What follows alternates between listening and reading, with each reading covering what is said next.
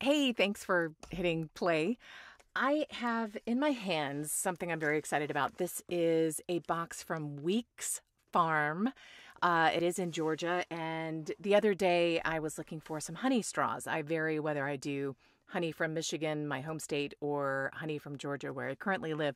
Anyway, I was just googling around, find found a farm in Georgia, and placed an order, screwed up the order, and had to call. And believe it or not, I actually got to talk to a person. His name is Ted Sauls. He was great and took care of everything for me. And now I've got honey straws for my live announce uh, gig that I'm going to be doing in Las Vegas next week.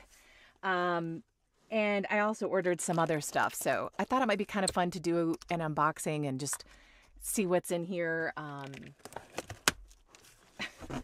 I can do this without uh, my teeny little desk here. Let's see what we have.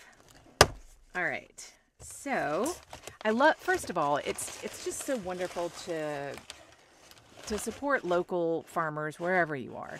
Um, and talking to Ted, it was obvious his passion for working with local farms and uh, farmers.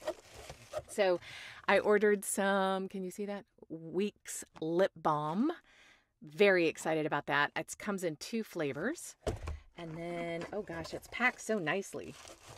I ordered lots and lots and lots of honey straws. Um, oh my goodness, look at this, you guys. I have all of that honey straw, those honey straws. Oh, what's this?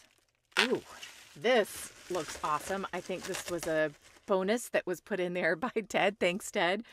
Uh, oh, wow. I hope I pronounced this right. Ceylon cinnamon infused honey. That is going to taste so good. Oh my gosh. Cinnamon infused honey. I've never had that, but I can't wait. What else do we have here? Oh, here's a cute little jar of gallberry honey. Haba honey, habanero infused. Oh my gosh. You know that's probably going to taste pretty darn hot. Uh, I may have to save that one for Brian. I don't I don't do spicy foods well, but Brian will love that. I bet that would make a great marinade. Um, oh, and Ted's business card. So if anybody wants to work with Ted, he oh, can you see that? He does marketing um, for Weeks Honey, which is great. Tulip poplar honey, limited harvest. Oh yeah, that's gonna be cool. I've never had tulip poplar honey before. What else do we have here? Thank you, Ted. Thank you for all this awesome stuff. Orange blossom honey. That's going to be great. And, gosh, Ted, you went overboard. Holy cow. Alfalfa honey. Oh my gosh, look at the, just look at the color of that. Can you see the color of that? I don't know what to put in front of to do that. What else do we have in here? Oh, and we've got two little honey bears. oh, this is fun. One is gallberry and one is orange blossom. So thank you, Ted. Thank you, Weeks Farm. I am going to really be needing these in Vegas for my live announce gig. Might help if I turned it right side up.